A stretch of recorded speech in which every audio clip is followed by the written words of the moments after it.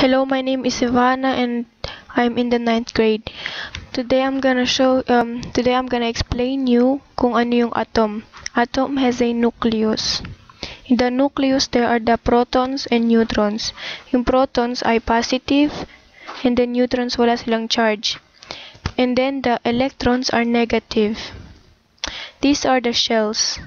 First shell and second shell. Yung pinaka huling shell ay tawag ay outermost shell.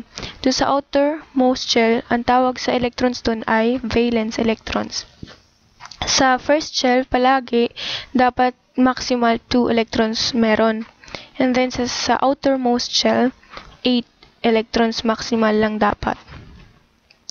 Kung ilang electrons ka meron, ganoon yung proton mo. For example, dito sa Bohr model i-explain ko rin sa inyo kung sino si Bohr.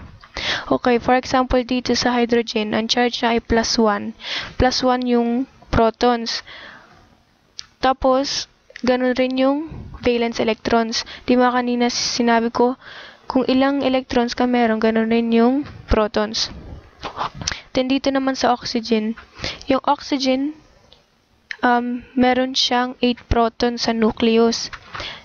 Kasi, dito sa mga shells, 8 siya meron.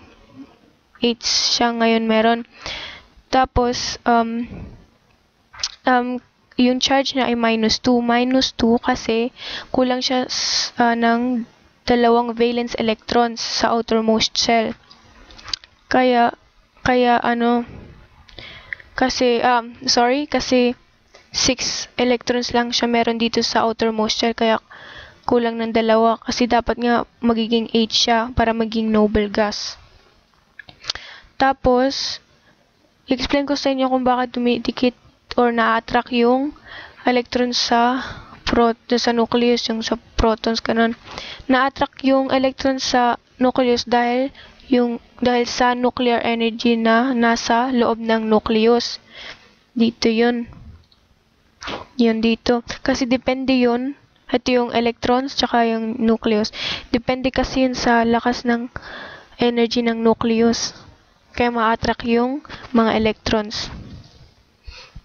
Now, si Bohr naman. Ito yung si Bohr. Um, his name was Niels, Niels Henrik David Bohr. He was born 7 October 1885 sa Copenha Copenhagen in Denmark.